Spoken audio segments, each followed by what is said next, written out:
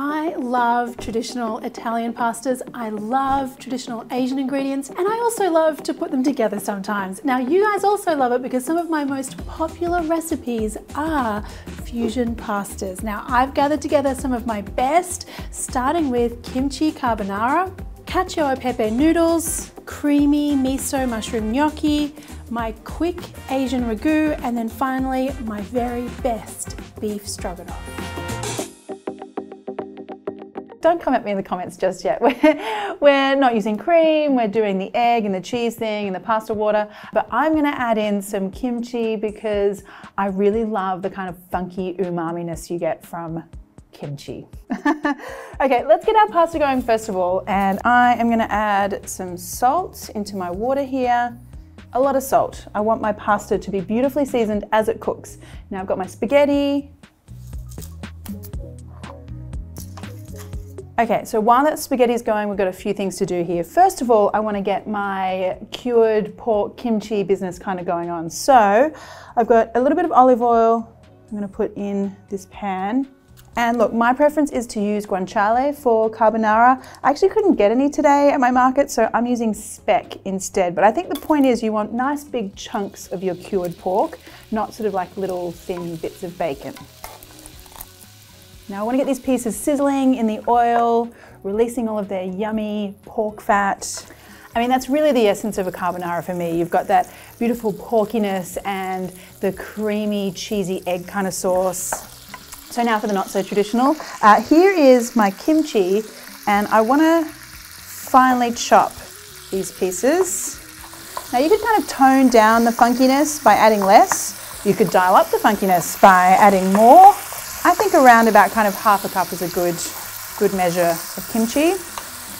Now you can see that I'm starting to get some really lovely little bits of color going on uh, in that pan. So now I'm going to add in that chopped kimchi.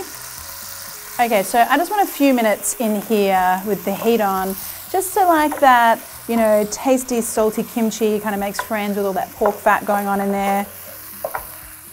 So what I can do now while I'm waiting for my pasta and for my pork mixture to cool down is the eggs and the cheesy business. So I like to do a mixture of whole eggs and egg yolks. I think that makes things a little more richer. Um, now, just three whole eggs and then the two egg yolks. Just give those a mix. And now the cheese. So I'm using Parmigiano and you just want to add a very generous amount. Okay, mix that cheese through. Now because this is a really simple dish, I think each little detail can make all the difference. So I'm using pepper here, but I've freshly ground it so you get that really nice, lovely hit of fresh pepper. Okay, so my pork mixture here is nice and cool, and that is about the right timing for my pasta, it seems, because that is beautifully cooked, just al dente, so it's still a little bit of cooking to go. Um, and I want that to happen in the saucepan because I want the pasta to finish cooking and soak up the sauce as it goes. Okay, so my pan is nice and cool, so adding these eggs shouldn't result in a scrambled mess. And now we exercise some patience. So I'm just gonna keep swirling this around a little first. And then I'm gonna put the heat on very low. So I don't want this to happen too quickly. I just want things to get nice and sticky and shiny and luscious without scrambling. I do want to use some of this pasta water as well. So the pasta water kind of adds a bit of seasoning as well because it's a little salty, but it kind of gives you a little bit of that starchiness. So the pasta water and the oil and the fat and the cheese and the eggs, it's kind of what gives you your sauce. So keep stirring don't be tempted to go too high on that heat. Now this can take anywhere up to five minutes depending on how low and slow your heat is. You can turn it up, but you know, uh, just be a little careful. Okay, so now we're starting to see that magic happen. See how that sauce is thickening up and it's getting all glossy and quite tight. Like there's not much loose um, sauce going on there in the bottom of the pan. Now pasta will wait for no man or woman, so make sure you serve it up straight away.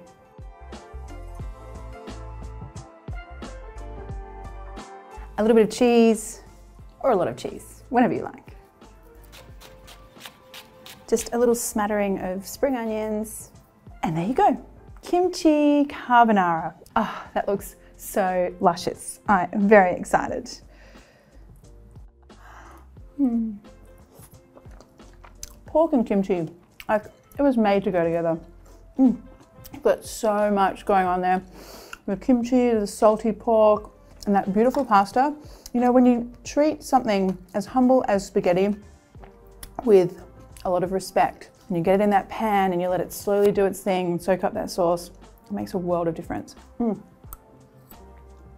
Perfect. Cacio e pepe literally translates just cheese and pepper, but you know, you don't, it doesn't exactly specify what kind of pepper does it? you know me guys, we're going to be adding in a little surprise ingredient here that's not quite traditional, but we'll add a little extra something. So let's go in with our, first of all, typical ingredient, black pepper. And what we want to do here is really make pepper the star of the show. So I want you to get whole peppercorns. We want to toast them first because that's going to release all of their beautiful aromas and flavors and essential oils. So into a dry frying pan. And then here comes the little extra guy that you wouldn't expect, and that is Sichuan peppercorns. So these guys have a really beautiful high sort of citrusy top note, plus they kind of add a little numbing, tingling kind of sensation. They're just great.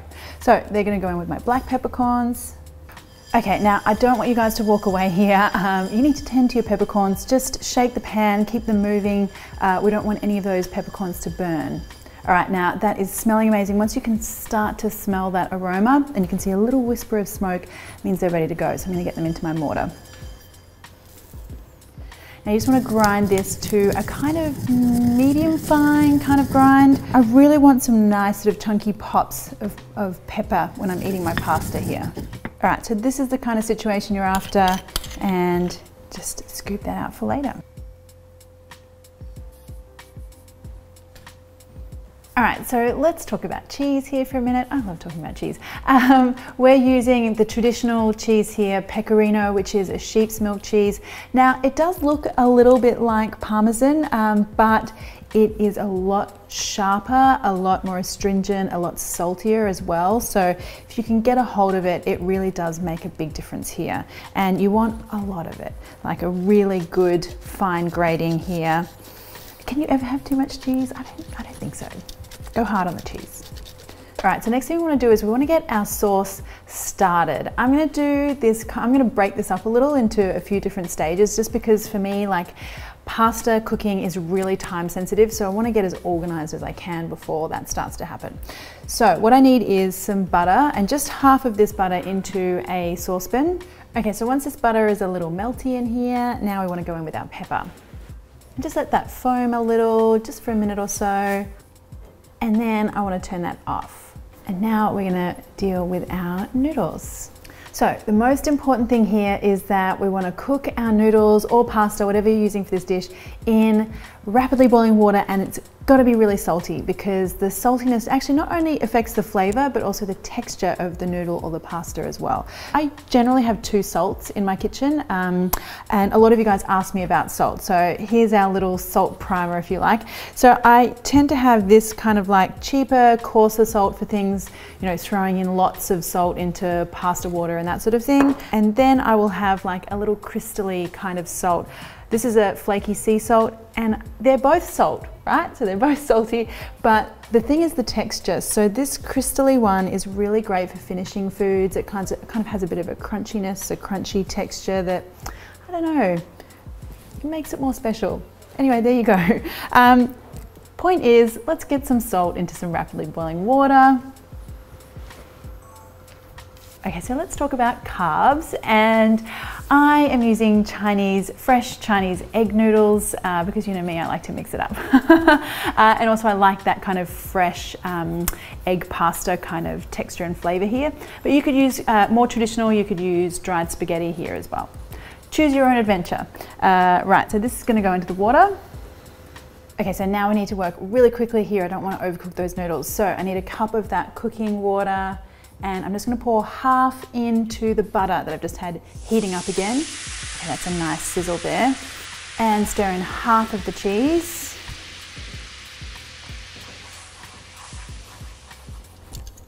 Now get those noodles straight in there. In with the rest of the butter, the rest of the cheese. And now we are mixing. So this is the part where it all comes together. The water, the cheese, the butter, everything will start to look super glossy and shiny and amazing. I'm gonna add a little bit more of my noodle cooking water. You just want things to kind of be loose um, and shiny, not too thick here. And that is looking pretty amazing, my friends. Now this will wait for no one. Get it straight out onto a plate a little bit more cheese because you can always have more cheese. And there you go guys, cacio e pepe noodles with a little Szechuan peppercorn kick. Let me just get right in here and make sure that it's, you know, a good one for you guys. Mmm. Mmm. Mmm. Wow. This is really badass. That Szechuan peppercorn like gives you this really big hit of, I don't know, like citrusy, peppery stuff, and then you get this like really tingling, numbing sensation. Mm, yeah, this is keep it for sure. Mm. Cheesy, creamy, so super lush. I mean, this gnocchi, it's all the things, my friends. We are making creamy miso mushroom gnocchi. Okay, let's talk about mushrooms first of all, because one of my little cheats whenever I'm doing a mushroom dish, whether it's spaghetti or this gnocchi dish, is actually to throw in a little bit of dried shiitake mushrooms. These guys have way more punch, I think, and they add a whole bunch of umami and really great deep mushroom flavor. So along with the fresh, throw in some dried shiitakes. These have been soaking in warm water, so they're nice and soft now, so just kind of drain them off. A little squeeze. And now the stem part, doesn't matter how long you soak them for, is always gonna stay like hard and woody. So cut that out. And do you know what's great about using dried shiitakes is that they're really very much cheaper than buying fresh. Um, so you're kind of getting really good bang for your buck with these.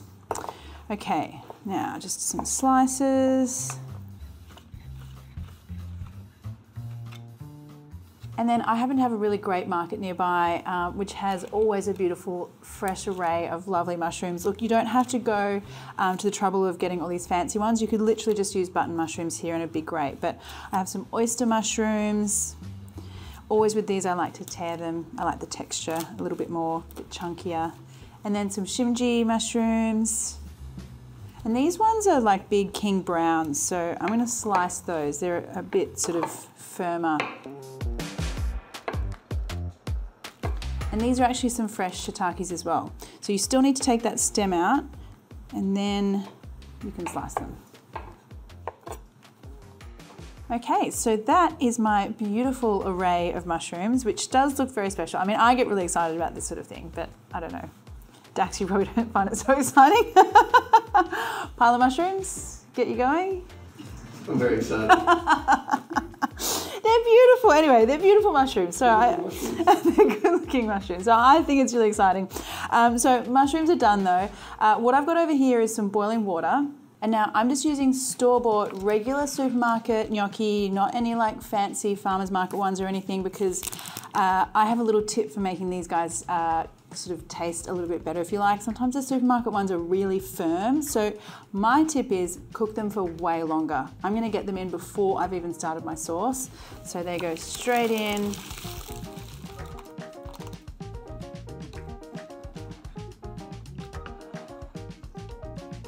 So while the gnocchi's cooking, um, I'm gonna get on to doing the sauce, but first up, I just wanna loosen up a little bit of miso paste. So yes, I'm using miso. Um, I love using miso uh, with Italian pasta dishes. I think the miso and the cheese and the cream just go so well together.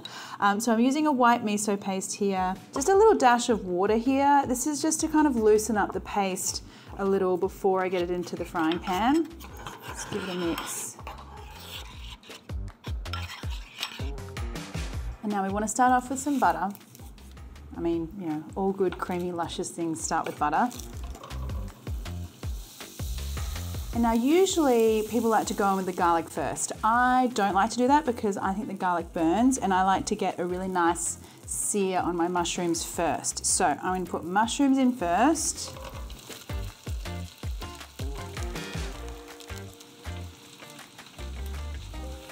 And you want to give these time to really get a little bit of colour, develop some flavour. So once your mushrooms uh, have wilted down a little, they've got a nice amount of colour, then you want to go in with your garlic. So that way you won't burn it. And you still get that really fresh, lovely garlic flavour. Okay, I'm going to now go in with my miso paste mixture. And some cream. Oh, I mean, already looks so lush. Look at that. Okay, so I want this to kind of bubble away quite fiercely um, for about five minutes until we've got a lovely thick sauce going on. So while I'm waiting for my sauce, I'm just gonna slice up a little bit of spring onion.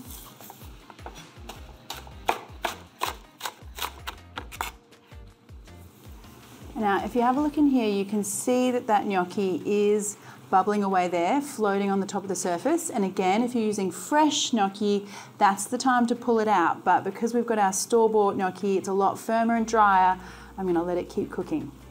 Have faith. And now we go in and grab a hold of our gnocchi.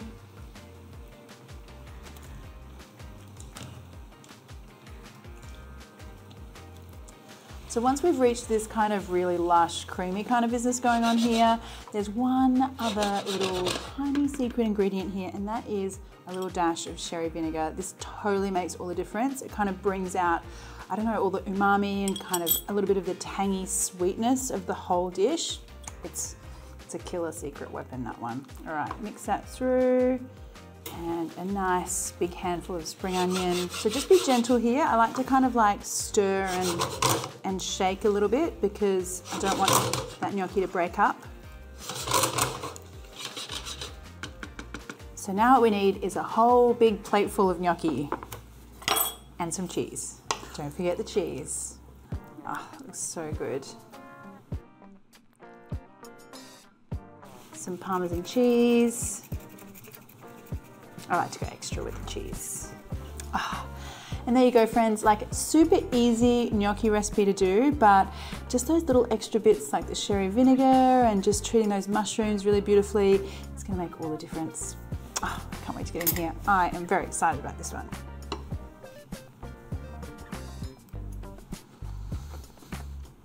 Mm.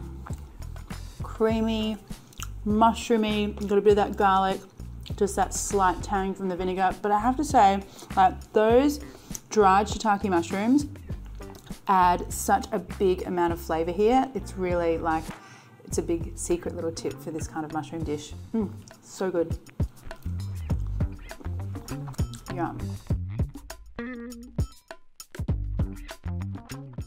rich, meaty ragu. Now, this is the kind of pasta dish dreams are made of. Mine has a little twist, you'll see. This is my Asian ragu. So I have taken that wonderful thing, uh, ragu, and put my own little spin on it, but also tried to improve things a little to make things quicker, but a whole lot beefier. You'll see what I'm talking about in a minute. Um, first of all, we're gonna get going on this beefy, meaty part first of all. So I was trying to think like, how do we make our ragu more intense, more beefy without, you know, simmering for hours and hours and hours, which is traditionally what you would do. Um, so this is what I came up with. Now I want my pan here heating up really nice and hot. That's really key here. Um, and I want some olive oil here as well. You'll notice I'm doing this in a wide pan as well because I want to get the maximum amount of evaporation in a quick amount of time. That's all going to help the shape, the heat, the all the things. So this first part of the cook here is kind of what I like to call like a burger kind of situation. So uh, what I'm trying to do is get a really, really hard sear on this beef. And you know that, that beautiful crust that you get on a burger, that beautiful smell, uh, that beefiness, that's what I wanna go for here because that's gonna layer, start to layer up the flavor of our ragu. Um, so my beef mince, a nice fatty kind of beef. I like to go with like an 80-20, 20 fat, 80, 80 meat portion, proportion, portion, proportion. Now get that beef, just kind of like sprinkle it in. And I want a really good pinch of salt here. And then don't touch it. Just let it sear. Let it go for like three, four minutes.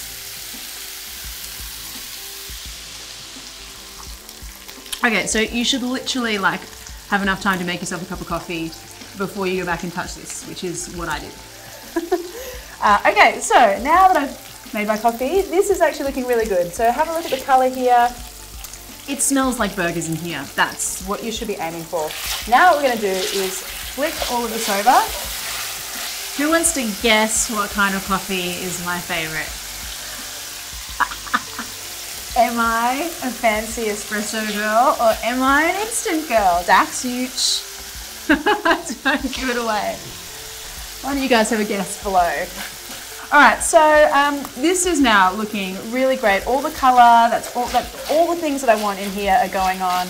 Um, now I'm actually gonna get in with some pork mince. So I kind of use the beef uh, in a way to get all the flavor, but as you might think, if when you're hard searing like this, things get a little dry, which works out in the end, but the extra pork mince, adding that in now, that will actually give the meat a lovely soft um, texture throughout the sauce. So, you know, there's always method to the madness.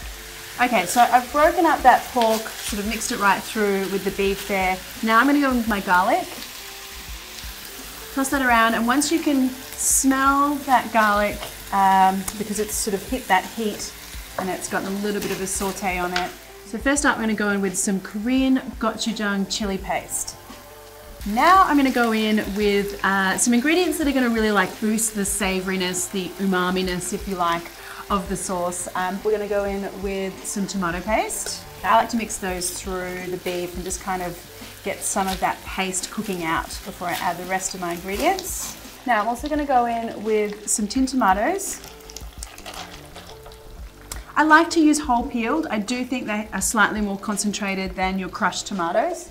Okay, now I want some soy sauce as well. And I think just these little things, right? Soy sauce instead of salt. Soy sauce adds the saltiness, but also gives you the extra dimension of that umami and savory flavor. Now, another few kind of little secret ingredients here is some star anise. Now, this guy is surprising. I think that this spice um, really adds a kind of meatiness whenever you, I'm doing meat braises, whether it's an Asian braise or this kind of style of Italian ragu. And that's it. So I'm gonna turn the heat down now, sort of medium, medium low, and I want to let that simmer for 20 minutes. So usually you would simmer this for like three hours if you're doing a traditional ragu. Um, but all those extra bits and pieces, that's all kind of like, you know, trying to help this quick simmer along and getting that really beautiful big flavor. Um, so yeah, 20 minutes, uncovered.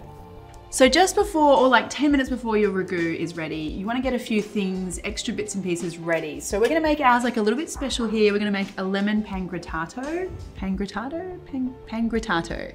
That is like the worst Italian accent you've ever heard. You said in Italian, Pangrattato. Perfect, that's great. Like Dax said it. We're gonna make one of those. Um, you want a little bit of olive oil. Basically, it's just like fancy breadcrumbs. Um, I'm gonna use some panko breadcrumbs here. A good dash of salt, and I just wanna like toast off these breadcrumbs so they get nice and golden and kind of have that, you know, toasty flavor. Keep tossing those breadcrumbs around until you've got a nice color. Don't walk away. It's like nuts, whenever I'm toasting nuts, I always walk away and burn them. All right, so once you've got that really nice golden color on your breadcrumbs, just turn that heat off. And then now we're gonna add some aromatics. So I want some lemon zest, You'll be surprised at just how extra special this like sprinkle at the end makes everything. The lemon really just lifts everything. It's great. Add that parsley in, give it a toss.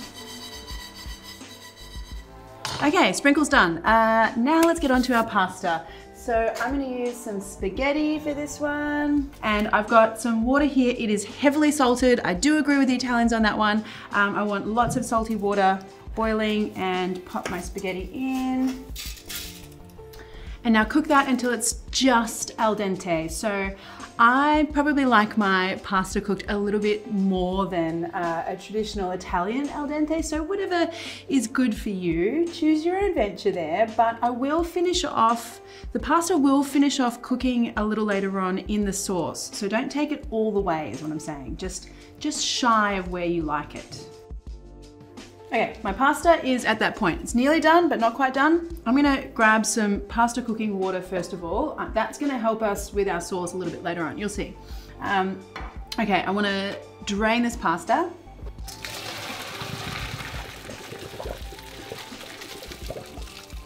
So my pasta is back in the pot. Now what I wanna do is get my ragu and pour all of that in. And now here's where that extra pasta water comes in. So I'm gonna pour that in here. And the idea is that that extra little bit of liquid, uh, and I've turned the heat on to low underneath this pot as well. The extra bit of liquid, plus the ragu, plus this kind of mixing action, is gonna get that spaghetti really soaking up all the flavor. So instead of just having like the ragu and the sauce just kind of sitting on the outside of the spaghetti, the spaghetti kind of soaks up the flavor all the way through. So I think it's a crucial step. I want a bit of olive oil here as well. All right, so at some point, and we're at this point here, you'll see that the liquid that was quite runny at the bottom of the pan is now really nice and thick. Everything is like sticking and looking all glossy and amazing. Okay, so now we can just get our pasta into our bowl. And now here come all the special bits. So we've got our breadcrumbs that we've made. We want some cheese. And there you go, my friends. My quick-ish, well, much quicker than a three-hour traditional ragu, my quick-ish Asian ragu. Oh my goodness, I'm so excited. Yes. I mean, it's a good day when you can have bolognese for breakfast. Is it breakfast time? Sort of, almost. Mid-morning time, morning tea time.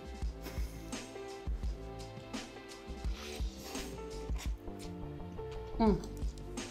That is like perfection. It's so perfect. The spaghetti is perfectly cooked, but you get this like really intense savory beefiness going on. And then that lemon at the end, guys, honestly, that little bit of lemon at the end makes everything so extra special. Creamy sauce, beautifully tender beef. How do you make a better beef stroganoff? I have a few little special tricks and a few little extra ingredients up my sleeve. This is my version of beef stroganoff. So beef stroganoff, total classic, uh, but one of the things that I think often is wrong with beef stroganoff is the beef. It is tough and dry and just altogether not very nice. We're gonna fix that with our recipe today. Uh, so let's get started on that first of all. I am gonna start off by using a Scotch fillet or a ribeye. You need a tender cut for this one. Uh, we're not gonna slow cook the beef, it's not a braised beef, um, so you kind of need like a good tender cut. A strip loin, sirloin would be fine. eye fillet if you want to get a bit fancy. Um, but this is what I'm using today. And I'm going to do something a little bit unconventional as usual. Um, I'm going to marinate this in some soy sauce because the soy sauce is going to give us extra flavor, a little bit of tenderizing. But I am going to kind of poke some holes in my steak first of all. I want the soy sauce to be able to penetrate really quickly. So I just want to grab my steak and just sort of stab it with my knife. It's a little bit basic instinct, um, but you know what I mean. And then with the second one, and then pop those into a mixing bowl and then pour some soy sauce over the top. Now just give those guys a mix together and then just leave them to marinate for about 10 minutes. All right, so steaks have had their time in the little soy sauce bath, um, time to get them frying in the pan. Now, a couple of things here. So we want to fry off our steaks in the same pan that we're gonna make our sauce in. And yes, this is very unusual for a beef stroganoff.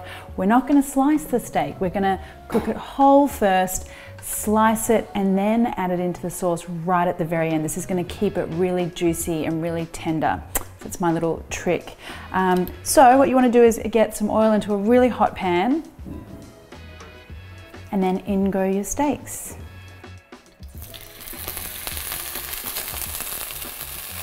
All right, so what I'm looking for here, guys, is color because color is flavor. It's that reaction that happens on the outside of meat called the Maillard reaction without getting too food nerdy. Uh, but what happens is the amino acids and the sugars and everything caramelize and that brown color is the pure flavor that we want for our sauce. And that's why I was saying we want to cook the sauce in the same pan as the steaks because we want to make use of that flavor that's happening in the pan. All right, so only one to two minutes each side here. Let's have a look. These looking pretty good. I'm gonna flip. Look at that color. Now that's what I'm talking about. That is beautiful. Now these are gonna finish cooking in the sauce, so I'm gonna take them out now before they're cooked through. Okay, so take a look in that pan. That is that flavor stuff that I was talking about.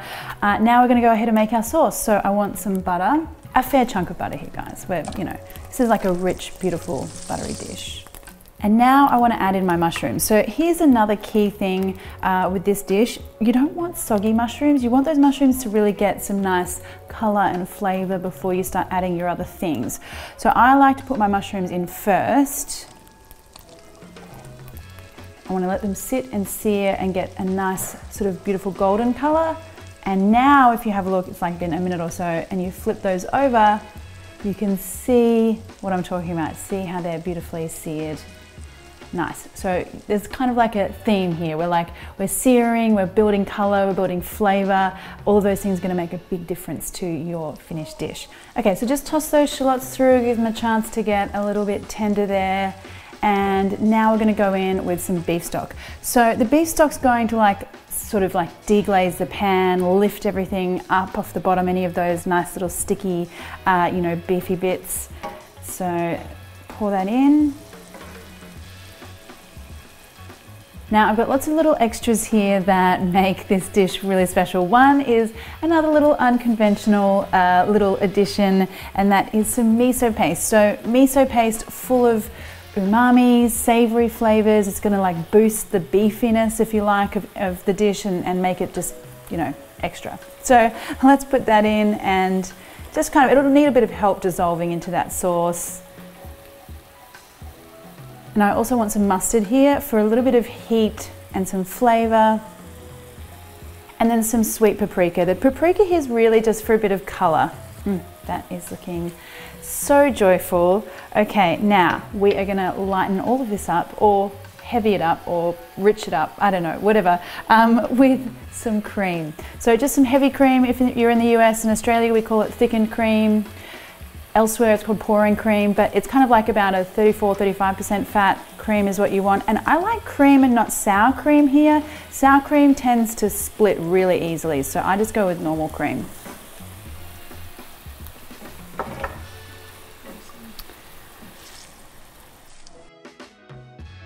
And now guys, this is where we wanna slice and add our steak, right here at the very end.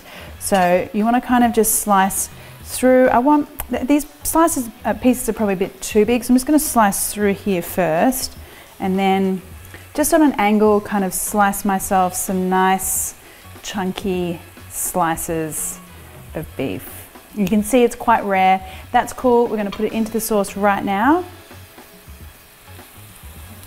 and it's just gonna finish off its cooking really gently in that sauce.